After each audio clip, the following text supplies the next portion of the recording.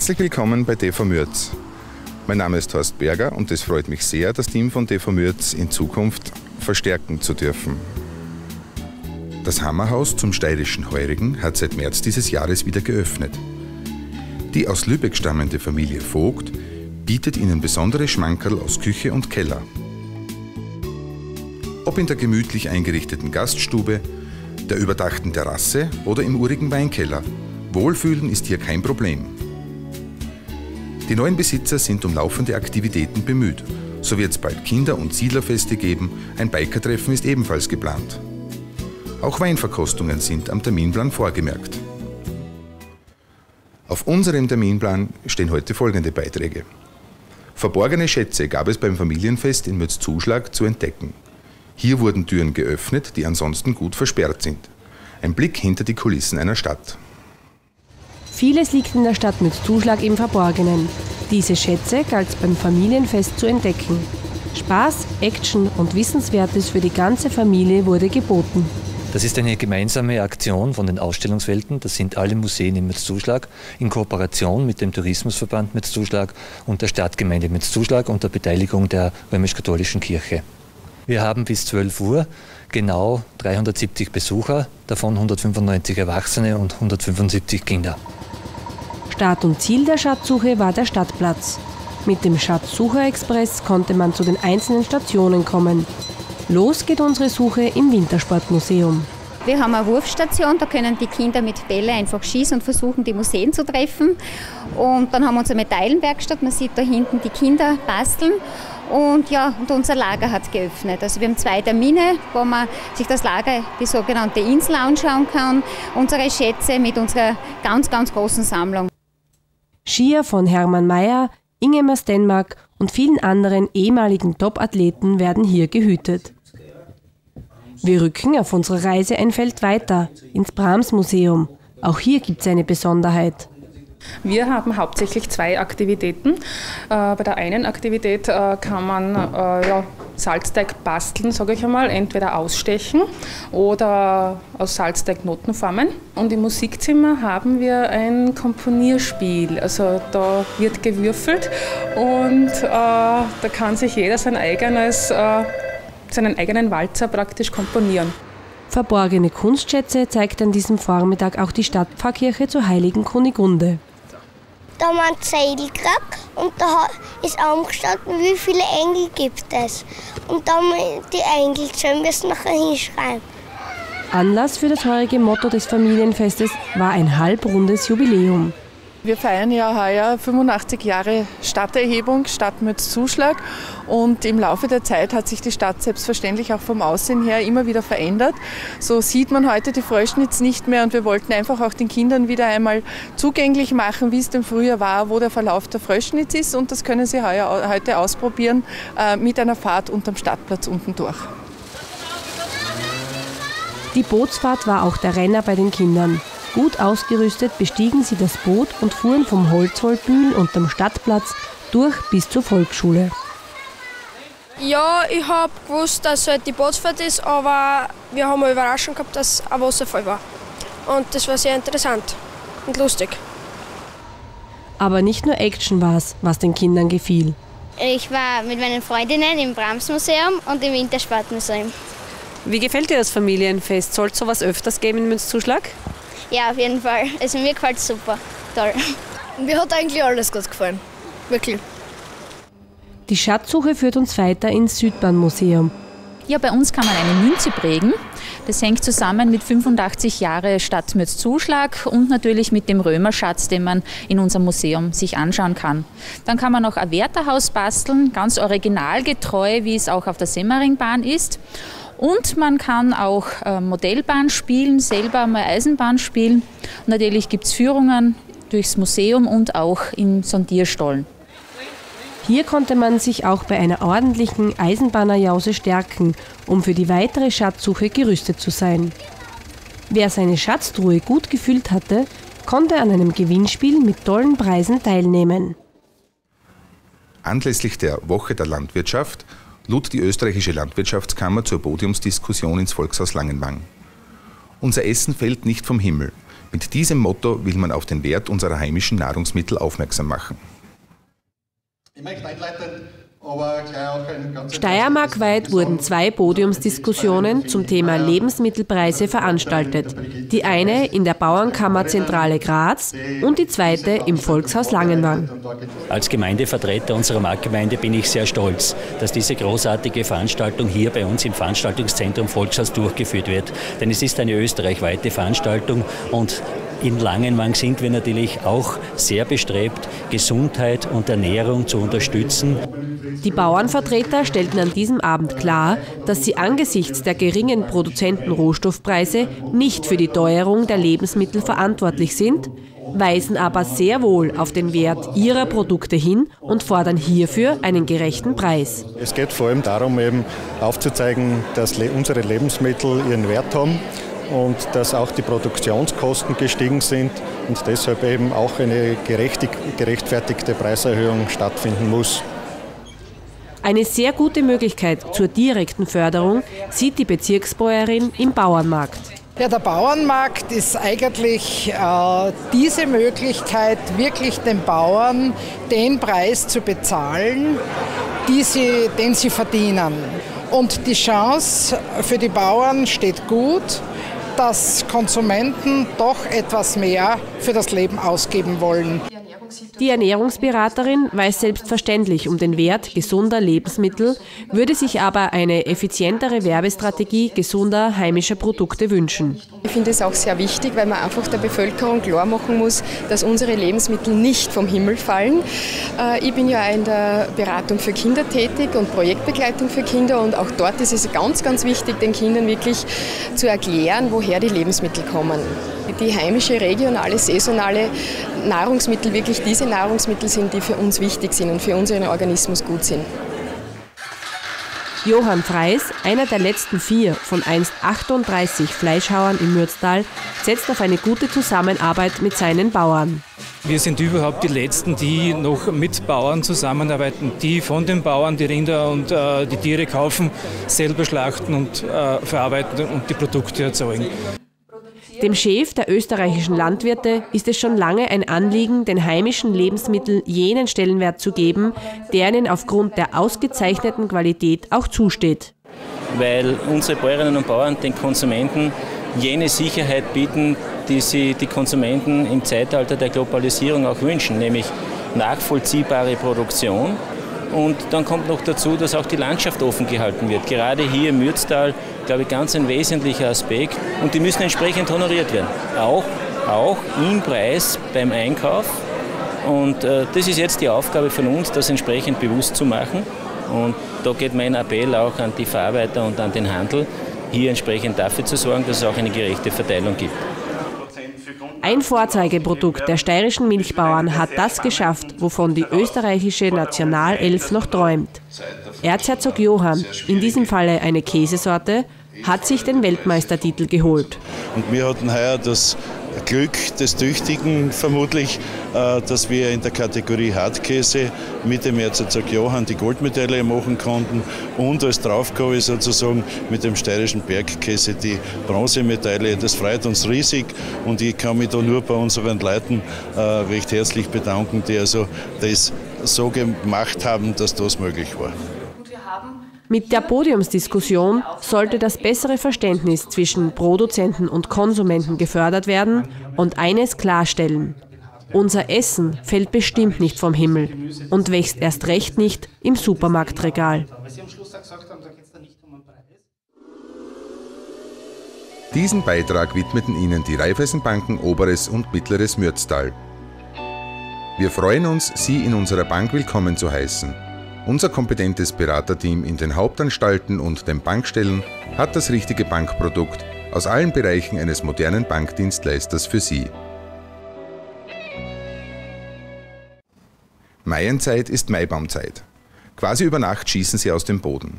Im ganzen Land werden zu Monatsbeginn die Maibäume aufgestellt und manchmal auch schnell, zu schnell, wieder umgeschnitten. Wir waren beim traditionellen Maibaumaufstellen des ESV Neubausiedlung dabei. Es bei uns Brauch ist, wird am Vorabend des 1. Mai der Maibaum aufgestellt. Dankeschön an den Herrn Reisenhofer Franz, der was uns den Baum gespendet hat und an die Firma Böttl, die was uns den Kranz gewidmet hat. Anbringen möchte ich auch noch, dass wir heuer Maibaum umschneiden haben am 9. August. Das ist ein Samstag. Ich hoffe, es kommen viele Leute, dass wir wieder eine gute, gelungene Veranstaltung haben. Ja, es freut mich wieder sehr. Also es ist wieder äh, uns gelungen, einen Maibaum zu organisieren und natürlich aufzustellen. Man sieht ja, eine Menge äh, versucht, das Ganze jetzt in die Höhe zu bringen. Die Mitglieder des ESV Neubausiedlung packten kräftig an, um ihren Baum in traditioneller Weise zu errichten. Sepp Renhofer ist einer der wenigen, die das Maibaumaufstellen ohne mechanischen Hilfsmittel noch beherrscht. Er weiß, worauf es ankommt. Es gibt nicht mehr viele, die was das irgendwie gelernt haben und die was das noch ein bisschen beherrschen. Besonders achten muss man, dass alle an einen Strick ziehen, dass nur einer rettet und dass wirklich die Gleichmäßigkeit gegeben ist. Ne? Weil wir wollen dann traditionsgemäß aufstellen, nicht mit einem Traktor oder irgendwas, weil sonst kommt es so. Und für das sind wir da. Mittels Stangen und Seilen wird gezogen und gestemmt, bis der Maibaum in der richtigen Position ist. Der erste anstrengende Teil wäre geschafft. Nun heißt es aber Vorsicht und Augen auf. Dann gegen einen Abend müssen wir halt dann aufpassen, dass uns das Maibaum wieder nicht so wie voriges Jahr umgeschnitten wird. Und da haben wir eigentlich einen speziellen Mann heute, der was die ganze Nacht Wache halten tut und sie, der ist auf jeden Fall gesagt hat, und diesmal wird nicht umgeschnitten. Sind die Täter aus dem Feuer eigentlich gefasst worden? Die Täter haben wir nach äh, zwei, drei Tagen haben sie sich freiwillig gestellt. Zumindest haben wir es dann gewusst, wer es ist. Es war der Lausbaumstickel, aber schuld waren wir eigentlich selber, weil wir eigentlich verabsäumt haben, dass wir da eine Wache haben. Wir sind wohl in der Hütte drüben gesessen aber leider haben wir das nicht einmal gehört, weil wir den Fuchsschwanz schon geschnitten haben und auf einmal ist er nach dem gelegen. Und heuer werden wir natürlich auf jeden Fall versuchen, dass das uns nicht mehr passiert. Wie auch immer die Wachen ihre Arbeit heuer erledigt haben, einem zünftigen Maibaumumschneiden steht nichts mehr im Wege. Die ESV Neubausiedlung ist fast schon das kleine Veranstaltungszentrum von Hönigsberg. Wir als Hönigsberger Gemeindevertreter sind natürlich sehr froh, wenn unsere Vereine in Hönigsberg, wie heute hier die der ESV Neubausiedlung, solche Veranstaltungen durchführen, weil es einfach zu einem Wohlfühlen im Ort dazugehört, wenn Veranstaltungen sind, wo sich die Bevölkerung treffen kann, wo sie sich dann wirklich untereinander austauschen kann und einen gemütlichen Tag verbringen kann. Merken Sie sich den 9. August vor, denn da kann man sich auf ein großes Fest freuen. Wie beim Aufstellen wird es auch beim Maibaum umschneiden wieder Musik, gute Laune und allerlei Köstlichkeiten geben. Der Maibaum ist auch heuer wieder einem Lausbubenstreich zum Opfer gefallen. Das wäre noch kein Problem. Allerdings wurde er in der Nacht zum 3. Mai wieder umgeschnitten, was einen großen Sachschaden zur Folge hat. Lausbubenstreiche sehen anders aus. Fest gibt's trotzdem eins. Statt eines Maibaumumschneidens wird es ein Sommerfest werden. Im neu eröffneten Red Hair Friseursalon in Mützzuschlag wird auch im Shop-Bereich Beratung großgeschrieben. Hier können Sie aus der gesamten Produktpalette von Schwarzkopf, Vella, Goldwell und L'Oreal wählen und Haarschmuck für jeden Anlass sowie Bürsten, Kämme und Profigeräte aussuchen. Das Team von Red Hair in der Mariazellerstraße 11 beim Kreisverkehr freut sich auf Ihren Besuch.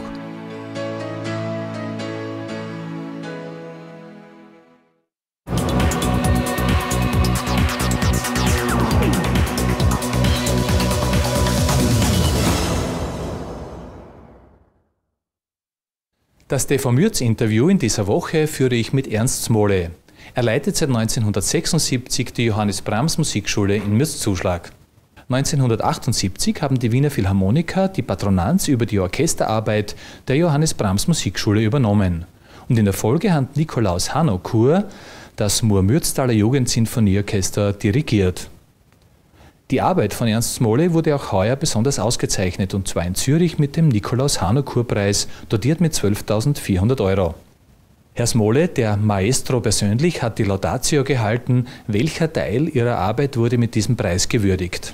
Gewürdigt wurde die Teamarbeit an der Johannes Brahms Musikschule, die Nikolaus Anoncourt live kennengelernt hat und für preiswürdig erachtet hat. Wie wird dieses Preisgeld verwendet? Dieses Preisgeld wird zur Gänze verwendet für die Weiterentwicklung unseres Innovativprofiles und zur Förderung von hochbegabten Kindern und zur Förderung von Kindern mit Migrationshintergrund.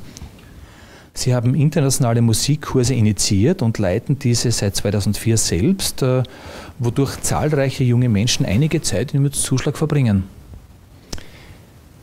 Wir sind zurzeit aktuell damit beschäftigt, diese Kurse, die sich bei uns etabliert haben, zu einer ganzjährigen touristischen Chance möglicherweise für Mützzuschlag und für unsere Region zu machen. Mehrere Konzertreihen sind untrennbar mit dem Namen Ernst Smole verbunden. Wen wollen Sie mit diesen Veranstaltungen ansprechen bzw. erreichen? Mürs Zuschlag ist sehr reich an Konzertserien. Es gibt die Konzertserien des Kunsthauses, des Brahms Museums und der Johannes Brahms Musikschule. Wir wollen schlichtweg alle Menschen erreichen. Wie wichtig ist es Ihnen, dass junge Mädchen und Burschen Ihrer Musikschule auch national oder sogar international ihren Weg machen? Unsere Schülerinnen und Schüler sind sehr erfolgreich als Solisten. Sie waren gerade sehr erfolgreich beim Wettbewerb Prima la Musica. Sie sind ganz, ganz wichtig auch als Motivatoren und als Vorbilder für alle anderen Schüler. Sie arbeiten mit berühmten Orchestern in Ungarn, der Slowakei, Rumänien, Russland und Japan zusammen. Welche Herausforderung bedeutet dieses Engagement für Sie? Berufsorchester sind natürlich sehr, sehr kritisch. Darüber hinaus gibt es keinen wirklichen Unterschied zwischen einem Kinderorchester, einem Jugendorchester und einem philharmonischen Orchester. Und zwar es gibt keinen Unterschied in musikalischer Hinsicht und schon gar nicht in Bezug auf die Kommunikation mit den Jugendlichen oder mit den professionellen Musikern. Am 16. Mai gibt es nun einen besonderen Termin im Stadtsaal mit Zuschlag. Am 16. Mai kombinieren wir in bewährter Form ein Profiorchester aus Ungarn, die Camerata Hungarica, die zu den besten osteuropäischen Orchestern zählt, mit unserer Suzuki-Gruppe, das sind rund 20 äh, sehr begabte Geigenschüler, und einem Violinkonzert, in dem Solisten äh, aus der Johannes Brahms Musikschule, drei Lehrerkolleginnen auftreten. Die Arbeit an der Johannes Brahms Musikschule strahlt also auch international aus, was sich unter anderem mit ihrer Mitarbeit in der österreichischen UNESCO-Kommission für Kunstvermittlung niederschlägt. Herr Smole, noch alles Gute für Ihre Zukunft an der Musikschule und für internationales Wirken. Danke für das Interview. Obwohl zurzeit wirklich alles hervorragend läuft mit den Schülern, mit der Stadtgemeinde, mit allen unseren Partnern, äh, nehmen wir diese Glückwünsche sehr, sehr gern entgegen. Wir brauchen sie dringend. Wenn es um Tonart geht, muss es sich nicht zwangsläufig um Musik handeln. Eine Sonderausstellung im Wintersport- und Heimatmuseum befasst sich mit der Volkskeramik Mütz Zuschlag, auch liebevoll Heferlbude genannt. Was viele nicht wissen, das Wintersportmuseum Mütz Zuschlag befasst sich nicht nur mit der liebsten Freizeitbeschäftigung in der kalten Jahreszeit, nein, es beheimatet auch ein Heimatmuseum. Zurzeit ist eine Sonderausstellung mit dem Titel Tonart zu sehen. Sie beschäftigt sich mit dem Thema Keramikkunst in und um Mürzzuschlag. Der Sammler Erwin Scheikl befasst sich seit langem mit dieser Thematik und hat unzählige interessante Exponate für diese Ausstellung zur Verfügung gestellt. Den Kriegsjahren, wo Mürzzuschlag äh, als Notstandsgebiet äh, deklariert worden ist, äh, Gott sei Dank die Winterhilfswerk Aufträge gekriegt hat, wo man sagt, also die Max- und Moritz-Figuren, Kasperl-Figuren, äh, die äh, Sternzeichen und so weiter und so fort. Und äh, man darf nicht vergessen, es waren also zu dieser Zeit ungefähr 72 Arbeiterinnen und Arbeiter beschäftigt im Keramikbetrieb. Und zu der Zeit, wo die Winterhilfswerksachen gemacht waren, haben sie müssen noch zusätzlich äh, 50 bis 60 Leute aufnehmen für die Fabrik, die eben dann den, nur die Winterhilfswerksachen gemacht haben.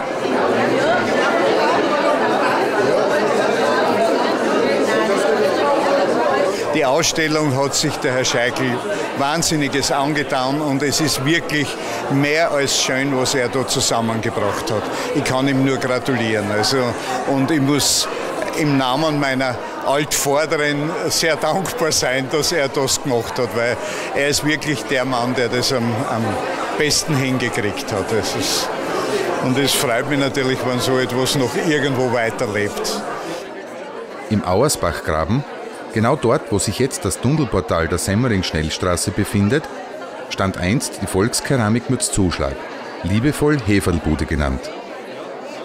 Dass mit der Keramikkunst in und um Mütz Zuschlag ein ganz besonderes Thema aufgearbeitet wird, beweist nicht zuletzt das rege Interesse an dieser Sonderausstellung. Alle wollen Bescheid wissen, wie es früher einmal war. Jeder hat noch so ein bisschen eine Erinnerung, auch an die keramischen Gegenstände, die man vielleicht zu Hause dort oder da noch aufbewahrt.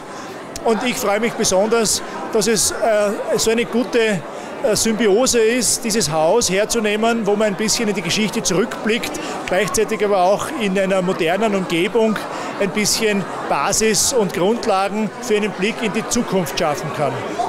Ich habe in Leon studiert, da habe ich meinen Mann kennengelernt, nachdem ich einige Keramiksachen zerstört habe, unwissenderweise. Dann hat er mir weitergeholfen und das erste Weihnachtsgeschenk war dieses, also so ein Rewe, wie da hier dieses braune steht.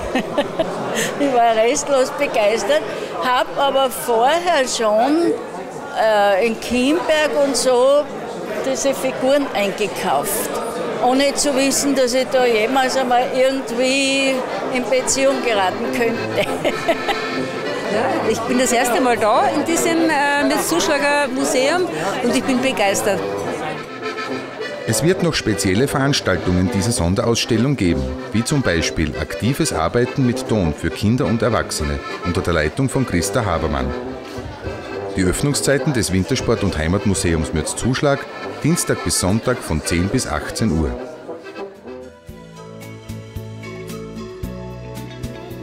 Auch die soziale Kompetenz wird im Hammerhaus großgeschrieben. Gemeinsam mit ihren Gästen ist es Familie Vogt ein Anliegen, Kids at Home mit diversen Aktivitäten zu unterstützen. Auch für größere Gesellschaften ist man im steirischen Heurigen gerüstet. Von Montag bis Sonntag ab 13 Uhr, an den Wochenenden und Feiertagen ab 10 Uhr, mit einem Ruhetag am Dienstag freut sich die Familie Vogt auf ihren Besuch. Das Hammerhaus liegt direkt an der Bundesstraße zwischen Mützzuschlag und Spital am Semmering in Grautschenhof 15. Schauen Sie vorbei auf Ripperln, Blunzen, Stelzen oder hausgemachte Mehlspeisen. Schmankerln gibt's hier jede Menge. Schauen Sie auch bei uns vorbei. Nächste Woche bei TV Mürz gibt's wieder neue Beiträge. Danke vielmals fürs Zusehen. Auf Wiederschauen. you